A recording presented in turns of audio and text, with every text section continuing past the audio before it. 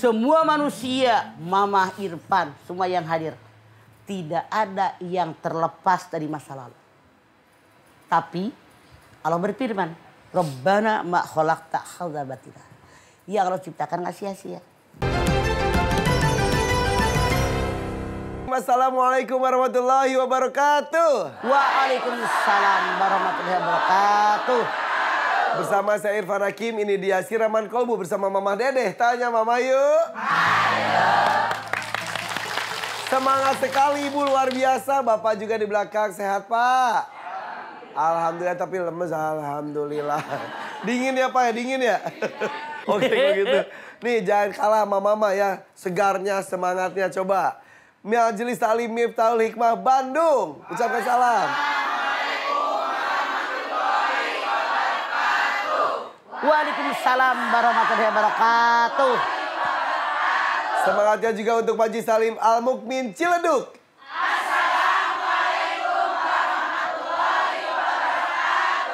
Waalaikumsalam warahmatullahi wabarakatuh. Kita awali perjumpaan kita hari ini ada sebuah kisah inspiratif dari seorang ustadz mama kita juga kenal, Ya. Ustadz Denis Lim. Denis Lim juga ustadz ini sudah menceritakan tentang masa Ya, lalunya. bagus budak teh. betul. Awalnya kan hanya menerima tawaran mengurus bisnis kasino di Thailand. Dan ia menyebutkan mendapatkan uang banyak namun hidupnya berasa tidak tenang saat itu. Kemudian Ustadz Denis Lim ini juga menonton salah satu kajian agim dan terketuk hatinya untuk taubat dan berhijrah. Nah, usai hijrah ia menjadi pendakwah dan merasa bersyukur karena masih diberi kesempatan untuk kembali ke jalan Allah. Nah, saat memutuskan untuk berhijrah, Ustadz ini juga menimba ilmu di pesantren Qadar Dakwah Darut Tauhid pada tahun 2019. Di sanalah ketemu dengan istrinya sekarang, mah. Masalah jadi masa lalu tuh sebetulnya ya udah kita harus berdamai dengan masa lalu, jadikan pelajaran dan sonsong masa depan gitu, mah. ya? Semua manusia, Mama Irfan, semua yang hadir. Tidak ada yang terlepas dari masa lalu. Tapi Allah berfirman, Rabbana ma khalaqta hadza batila. Ya Allah ciptakan nggak sia-sia. Allah ciptakan otak kecil, memori di sini. Semua yang pernah dialami oleh kita direkam oleh Allah di sini. Sampai mati nggak bakalan lupa. Kecuali amnesia. Bukankah hadis Nabi mengatakan, siapa yang hari ini lebih buruk daripada kemarin rugi. Siapa yang hari ini sama dengan kemarin rugi. Siapa yang beruntung? Yang hari ini lebih baik daripada kemarin. Makanya tuh anak baik, mana udah cakep, udah Iya. baik, ramah, dia menjadi kesalahannya. Selalu dia merendah. Begitu memang seharusnya menyadari saya punya salah, saya punya dosa, mohon ampun kepada Allah karena Allah mengatakan innallaha ghafurur rahim. Ya. Allah Maha Pengampun, Allah Maha Penyayang, jangan berkecil hati selama kita bertaubat dengan taubatan nasuha, maka Allah akan mengampuni dosa yang pernah kita lakukan. Oke, tapi kalau Ustadz Denis Lim kan eh, menceritakan masa lalunya Betul. untuk jadi pelajaran banyak orang. Betul. Tapi ada beberapa orang juga tidak mau dibahas masa lalunya. Kenapa mah kau begitu? Karena begini, Ipan pernah terluka tubuh Ipan? Pernah lah. Oke. Ini terluka seminggu, dua minggu sudah rapat, hilang. Lukanya sudah tidak terasa, dicubit pun tidak terasa. Dia ngebayangkan, kalau diomong lagi masa lalu, seolah-olah kayak kita punya luka, dikorek kembali, terluka kembali. iya, iya. Kebayang kembali yang pernah kita lakukan. Oke. Silahkan, tiap individu beda kebutuhan. Ya ya ya, bisa nggak mau diketahui, bisa minta diketahui supaya jadi pelajaran banyak orang. Betul. Asal tujuannya apa dulu ya Maya? Ya, kembali tujuannya. Ya, saya pernah melakukan ini, ini, ini, tapi Allah berikan hidayah. Alhamdulillah sekarang saya dapat hidayah. Makanya hijrah itu tiga artinya. Yang pertama hijrah itu meninggalkan perbuatan. Al muhajiru man hajara ma'nahallahi anhu. Orang yang berhijrah, orang yang meninggalkan perbuatan buruk kepada perbuatan baik yang diperintahkan oleh Allah. Dua, hijrah itu meninggalkan pergaulan. Karena bergaul sangat menentukan siapa diri kita dengan sahabat kita. Yang ketiga berpindah tempat itu. Oke, nanti kita bahas lebih dalam lagi ya Maya. Mangga. Jangan ngantuk ibu ya, bu yang di rumah juga, yang di sini mah apalagi ya, cenghar, segar ya. Ngolotot. Kita akan berwisata kita tetap di sini di Siraman Kolbu bersama Mama Dede. Tanya Mama yuk. Ayo. Masih di sini di Siraman Kolbu bersama Mama Dede. Tanya Mama yuk. Ayo. Ke toko bangunan membeli palu. Perginya sama Pak Tatang. Maafkanlah yang sudah berlalu.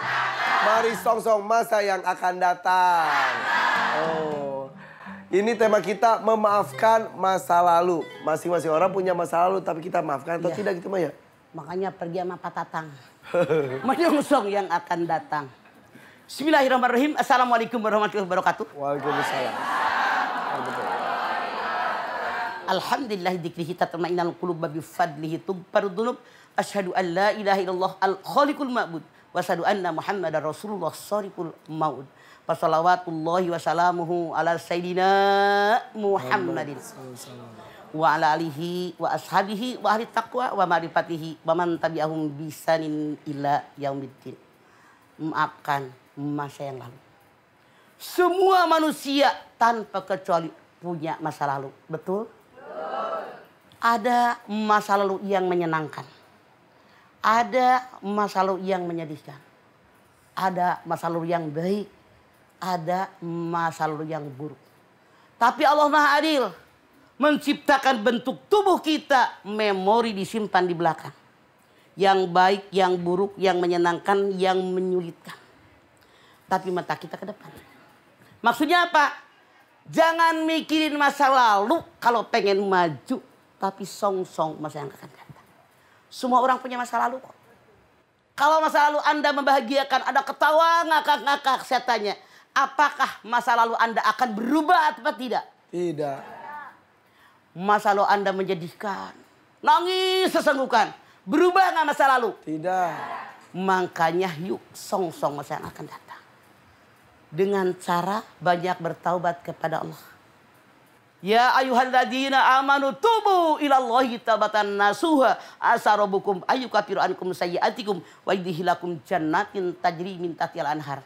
At-Tahrim ayat 8. Hai orang yang beriman, semoga kita semua termasuk golongan ini. Amin atu marolohok wae aing.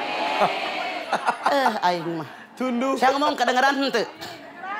Ngarti henteu. Ngerti mah. Kunaon teu amin amin acan balik deui juga ulun cenah mah aing mah. Hei orang-orang yang beriman, semoga yang hari di studio ini termasuk golongan orang beriman. Amin. Kayak ada orang sekarang. Bertaubat kalian kepada Allah dengan taubat yang ikhlas dari hati yang paling dalam. Mudah-mudahan Tuhanmu mengampuni dosa kamu dan masukkan kamu ke dalam surganya Allah yang mengalir di bawahnya sungai-sungai. Alhamdulillah udah pada eling amin gak usah disuruh. Jadi kata Allah taubatan nasuha syaratnya tiga. Satu, menyadari yang saya kerjakan salah. Dua, mohon ampun kepada Allah dengan dosa dan kesalahan saya. Yang ketiga, janji sama Allah. Janji dengan diri sendiri bahwa saya tidak akan mengerjakan dosa lagi dan menggantinya dengan perbuatan yang hanya diperbolehkan oleh Allah. Kalau dosanya sama Allah. Kalau dosa kita dengan sama manusia, syaratnya ditambah dua. Satu, kembalikan hak orang. Kalau kita pernah ngambil hak orang. Dua, ngomong sama orang bersangkutan. Apa yang pernah kita omongin tentang dia. Berani nggak? Makanya jangan so pada ngerumpi.